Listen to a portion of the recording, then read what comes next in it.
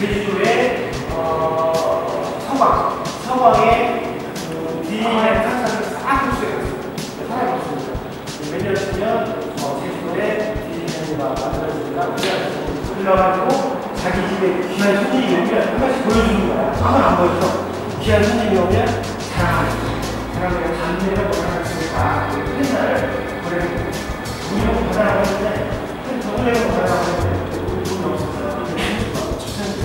이래서 사람들이 내 때처럼 나도 가까 공부 왔다고 잘하네 제일 많이 오면 되는 거 제일 많이 오면 어린이 어린이 어린이한테 제일 많이 어린이 무료 무료 500 유치원 이게 초등학생 이상 가는데 무료 센터라고 역할을 하니까 이게 서식지 같이 자연스러운 길을 어, 많이 피고 있어요 그래서 사회생활 하는 그런 공부를 해야 돼요 공부는 무료 센터에 전시할 수 있어요 여러 가지 이런 것도 있어요.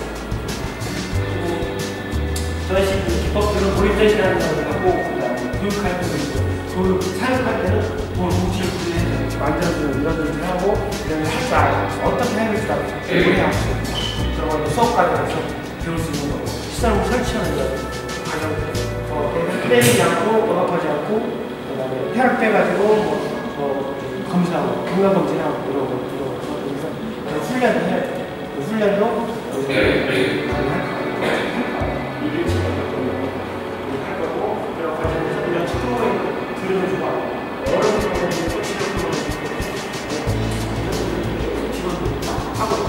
여기도 9월 말에 한번 나오는 여기 아, 나온 친구는